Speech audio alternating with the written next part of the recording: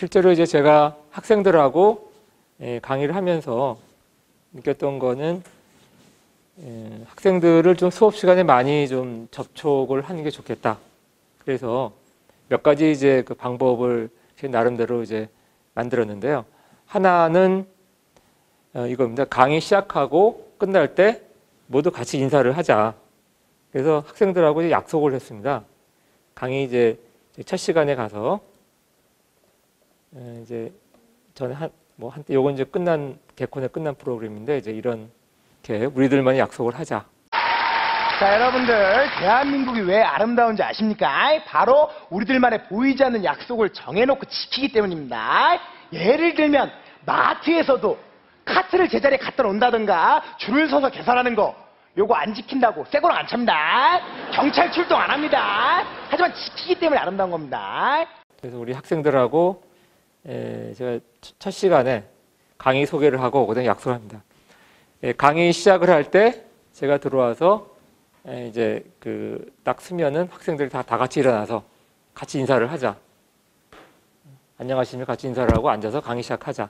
그리고 강의 끝나서 오늘 강의 여기까지 했습니다. 그래서 딱 제가 쓰면은 다 같이 일어나서 인사를 하자. 뭐 차렷 구령 구령 붙이는 게 아니라요. 그렇게 인사를 하죠. 약속을 했습니다. 처음에 좀 뻘쭘한데요. 그리고 이제 하자고 하고 바로 그, 그, 그, 시- 그 자리에서 한 번씩 연습을 해요. 자, 일어나서 이제 인사하자.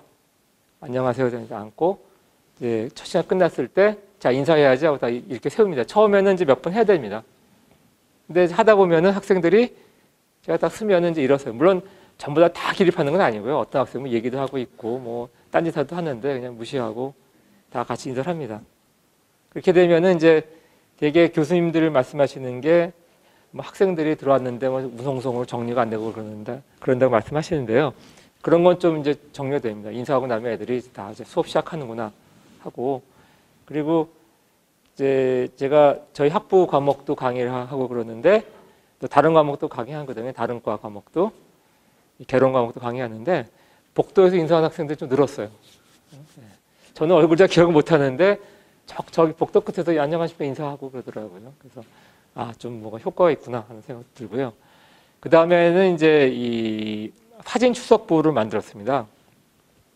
학생들을 에, 이제 강의를 하다 보면은 당연히 75분 수업하다 보면은 이 주의력이 떨어집니다.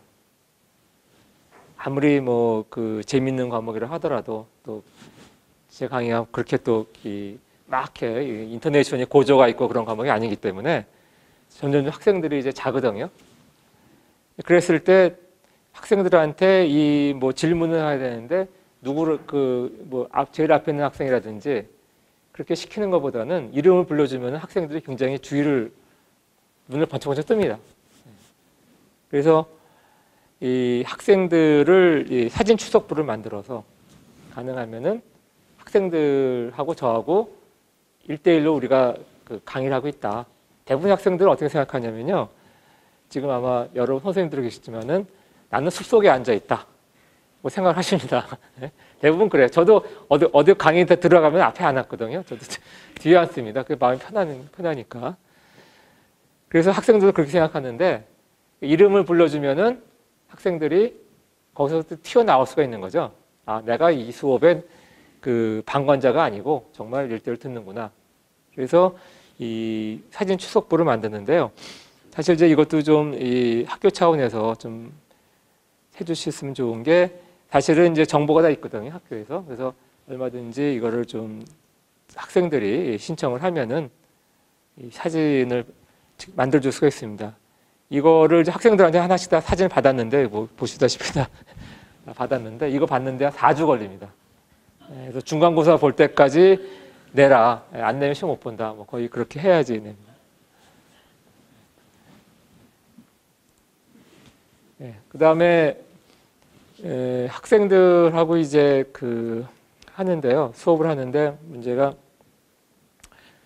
음, 한 2000년도 이제 중반쯤에 수업을 하- 했는데 그 중간고사를 볼 때 제가 들어가서 감독을 했는데 깜짝 놀란 게 학생들이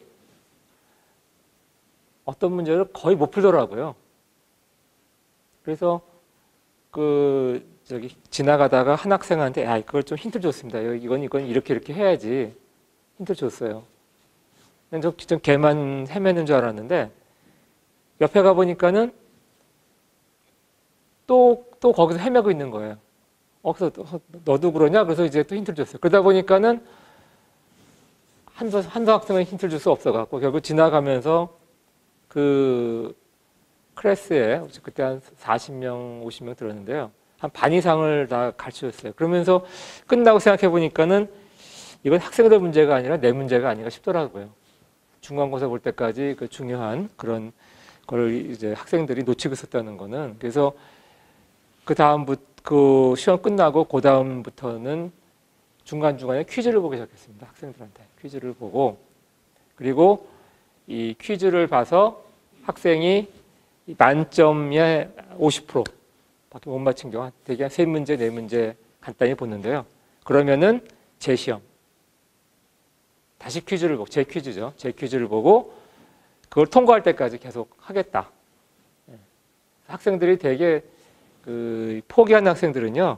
그냥 일과성으로 지나갑니다. 하나 이번 시험 지나가지. 근데 이 학습 그 손실 누적이 되면은 결국 그거를 복구할 수가 없거든요. 이게 4학년 과목도 아니고 2학년 1학기 과목이기 때문에 여기서 놓치면은 거의 1년 뭐 2년 다 놓칩니다. 그래서 가능하면은 학생들이 끝까지 포기하지 않도록 하기 위해서 자꾸 이제 그 기회를 이제 주고요. 물론 에, 이 계속 뭐 어렵고 새로운 문제 내는 게 아니라 한 번 학생들이 조금만 자기가 관심을 가지면은 그거를 패스할 수 있게 그래야지 또 학생 자신감 갖고 또 할 수가 있으니까 예, 그렇게 해서 이 퀴즈 시간을 이제 많이 가졌습니다. 그래서 어떤 해는 그 이 지방 선거 하는 날 예, 그날도 한번 그 보강을 한 적이 있고요. 그 다음에 이 정식 저희가 중간고사 이제 그런 걸 봤을 때 음, 하위 학생들 학생 수가 뭐 요즘은 저희 한 60명 정도인데 한때는 80명, 100명이 된 적이 있었습니다. 그래서 한 4분의 1 정도만 그 면담을 했습니다. 개인 면담을. 그래서 학생들한테 이제 성적 중간고 성적이 나, 나오면은 개, 개별적으로 이제 통지를 했습니다. 통지를 해서 네가 좋은 시간을 이제 잡아라. 그래서 제가 일단은 되는 시간을 언제 언제 주고요. 그래서 네가 체크를 해서 뭐 되게 수업 끝나고 근데 수업 끝나고 10분씩만 얘기를 하자. 그래서 뭐 월요일 날은 네다섯 명, 뭐 수요일 날은 네다섯 명 이렇게 해서 2, 3주 정도 이제 얘기를 합니다. 근데 좋은 게요. 학생들이 어 이제 얘기를 해 보면은 굉장히 그 자기는 열심히 하려고 하는데 공부 방법을 좀 모르는 학생이 있고요. 또 사과 학생이 저희 거 전과를 하려고 그러는데 하려고 그러는데 이게 가장 기초 과목이니까 처음 이제 들어 들었는데 막, 막 당황해하는 경우가 있습니다. 그래서 그런 경우 좀 얘기를 해주면은 굉장히 그, 그 팁을 받아갖고 기말고사 잘 보는 학생도 있고요. 어떤 학생 경우는 어 뭐 우는 학생도 있어요. 정말 이제 그 학생은 공부보다는 이 개인 문제가 큰 학생이었습니다. 예, 그래서 그 학생은 이제 저희 그 지도 교수님한테도 좀 연락을 또 학- 드리고 또이 저희 학- 학부에 그 상담하시는 분한테 말씀을 드려갖고 예, 공부보다 좀 그런 게 좀 안정이 돼야 될 것 같다 예, 그런 얘기를 했는데요. 예, 그래서 여러 가지로 뭐 저도 학생들 얘기하면서 이제 많이 이제 저도 이제 도움이 되고 학생들도 자신감을 좀 갖고요. 예. 이또 항상 제가 이 얘기하는 게 그거거든요. 밤낮 시험은 똑같은 데서 나온다. 똑같은 데서 나온다. 왜냐하면 중요한 거를 시험 문제 안 낼 수가 없거든요. 그러니까 네가 조금만 신경을 쓰면은 적어도 50점, 60점 다 받을 수가 있다. 그 노력을 해라. 이제 그런 얘기를 주로 합니다. 그래서 이게 이때 이제 4위 20, 25%니까 굉장히 낮은 학생인데요. 제가 그 경험상 보면은 나중에 기말에 A 마이너스를 받은 학생도 있어요. 거의 기말에 만점을 받아갔고요. 그래서 저도 야, 이 그렇게 어, 성적이 향상이 되는구나 하는 걸 느꼈습니다. 예, 그 다음에 이제 그 아까 말씀드린 이론하고 실험 과목을 이제 같이 한 겁니다. 그래서 실험하고 이론 진도를 마쳤고요. 이 실험하는 거를 이론 시간에 얘기를 제가 합니다. 그래서 저희가 실험을 이제 일주일에 하나씩 이제 가- 가는데 가령 이제 이번 주 실험을 한다 그러면 제가 강의 시간에 웬만큼 이론 강의를 하고 한 5분 10, 분 정도 끝나기 전에 아 너희들이 이번 주 이런 실험을 하는데 이게 이런 내용이고 뭐가 중요하다 그래서 이런 거를 이제 잘 준비해서 가라. 제가 예비 실험을 보고 쓰거든요. 그리고 끝나고 그 다음 주에는 아, 너희들 지난번 이- 이런 걸 실험했는데 결과 어땠느냐 하고 이제 그런 얘기를 좀 해줍니다. 학생들이 자꾸 연관이 되는 거죠. 그래서 이 이런 내용도 잘 이해가 되고 실험도 재밌게 할 수 있도록 이제 그렇게 했습니다. 그래서 이 실험은요, 저희가 2004년에 잘 안 보이실 텐데 그 어, 저희 학생들이 쓴 글 게시판이 있습니다. 글마다. 예, 저도 거기 많이 들어가서 이제 글도 쓰- 읽기도 하고 쓰기도 하는데 학생들이 쓴, 글- 쓴 글입니다. 학생들이 쓴 글인데 거의 전문가 수준입니다. 전문가 수준으로 학생들이 썼는데 뭐 실험 조교가 적고 숫자가 적, 적고 그 다음에 실험 교재죠. 교재가 도움이 안 됐다. 뭐 그런 얘기. 그 다음에 개선이 필요하다. 예. 이게 정말 심각한 문제다. 이 커리큘럼하고 안 맞는다. 실험이 커리큘럼 너무 앞서간다. 아마 TV 토론회도 아마 될 정도로 얘기가 좋은 얘기가 많이 나오고 있습니다. 그래서 결론까지 냈죠. 이론과 실험이 한강제로 돼야 될 것 같다. 이거 이제 다른 전자회로 실험인데요. 네. 하, 여기 이제 아주 이제 애틋한 표현이죠. 하나도 모르겠어요. 수업 시간에 배운 것 좀 실험 좀 합시다. 피드백 뭐 실험은 이제 어떤 이게 시- 저희 전공 내용인데 배우지도 않았는데 어떻게 실험 결과를 내, 보고서 씁니까? 예, 이런 얘기입니다. 그래서 저희가 이 실험이 붙은 과목, 실험이 있는 과목들은 다 합쳤습니다. 3 플러스 1으로. 한 저희가 네다섯 과목 되는데요. 다3 플러스 1을 합쳤습니다. 예, 그리고 이제 저희가 실험을 하는데, 예, 이건 뭐 좀 전공, 전공적인 얘기인데요. 실험이라는 게 꼭 어떤 그 루틴을 주고 그것도 따라 하라고 그러거든요. 그래서 학생들이 중간쯤 가면 이제 좀 재미가 없어집니다. 그래서 저희가 한 5월쯤 되면은 이 설계 프로젝트를 내줘요. 너희가 설계를 해서 해봐라. 가령 이제 옛날 거 했던 거면은 온도 센서를 이용해 갖고 온도 측정하는 회로를 만들어 봐라. 이제 온도 이제 하나 소자를 주고요. 회로 만들어서 거꾸로 이게 몇 도인가를 알아보게 하는 거. 그다음에 뭐, 뭐 무게를 측정하는 회로라든지 이제 이런 것들을 이제 설계를 해주, 하게 합니다. 한 2주 내지 3주 정도 시간을 주고 그래서 저희가 그걸 채점을 해서 조금 학생들 좀 변별력을 주는 거죠. 정말 하란 대로 하는 게 아니라 너희들이 한번 생각을 해서 해봐라는 걸 합니다. 예, 그리고 이제 저희가 실험을 할 때 1인 1조를 이제 운영을 했습니다. 그래서 아마 여기 저기 실험 해 보신 분들 계시면 대부분 실험을 2인 1조 시킵니다.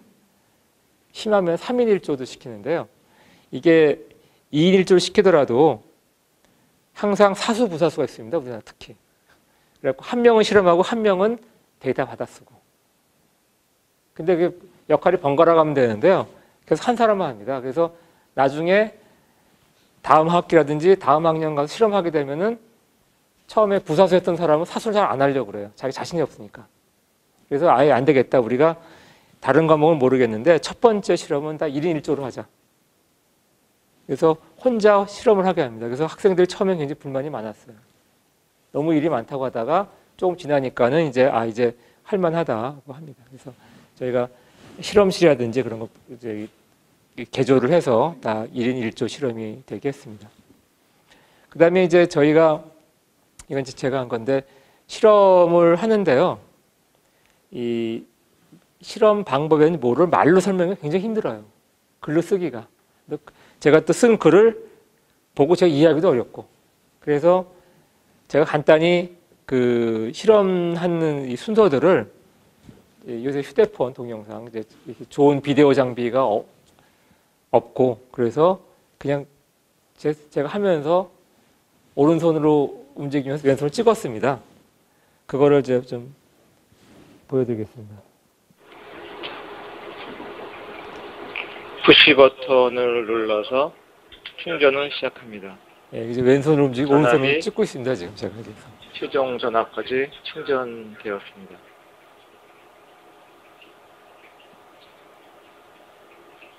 이제 6볼트로 이제 충, 후 충전을 했고요. 여기 전압을 주고 푸시 버튼을 떼면 스위치를 이제 캐시터는 띄는 거죠. 예. 개방이 되어 전압을 유지하게 됩니다. 이게 실험의 과정을 네. 방전 학생들한테 이제 설명을 해주는 대신 동영상을. 올려갖고 이걸 이제 보게 하는 겁니다. 방전 버튼을 눌렀습니다. 전압이 이제 떨어지는 이제 이런 것들을 이 고급 장비가 아니라 버튼을 휴대폰에 동영상 찍는 거 해갖고서는 그냥 유튜브 캐시터가 올리지 올린 겁니다. 방전되었음을 확인한 후 여기 파일 사이즈도 작고요. 스위치는 물론 이제 자꾸 이제 흔들리고 뭐 좀 영상이 깨끗하지는 않지만 충전 그런대로 쪽으로 굉장히 만족을 하는 것 같습니다. 다시 capacitor를 충전합니다. 전압은 서서히 올라서 강의가 뭐 이제 각각의 다 장단점이 있죠. 칠판 강의 장, 장점도 있고 또 이런 파워포인트 장점도 있고 또 동영상 활용 장점, 장점도 있는데요.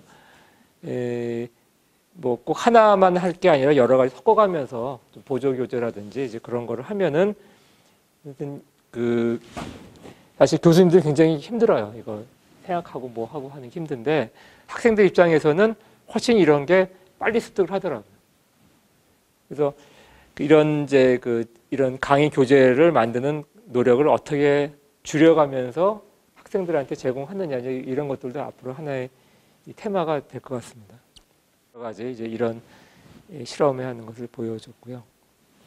그 다음에 이제 보고서 이런 것들을 예, 제가 직접 채점을 했습니다. 실험실에 들어가서 학생들 받아서 제가 이 학생들의 뭐 잘한 거 못한 것들을 이제 감점 가점 해갖고 채점을 했습니다. 여기 이제 어떤 학생이 쓴 거 이제 제가 채점한 건데요. 쭉 읽고서 아 여기가 잘 돼서 여기 1점을 줬고 여기 또 2점을 줬어. 그래서 기본 점수가 5점인데 이 학생은 이제 7점을 받았고요. 어떤 학생은 이제 뭐 실험을 했는데 이 토론을 discussion을 잘못 했다. 그러면 거의 감점을 마이너스 1점. 그래서 4점. 또 어떤 학생은 이제 뭐 이런 실험 표기급이 자꾸 틀리면은 감점 감점 하면은 뭐 2점 3점이 됩니다. 그래서 잘한 거 못한 거에 대해서 이제 상벌을 줘서 계속 고치게 한 겁니다.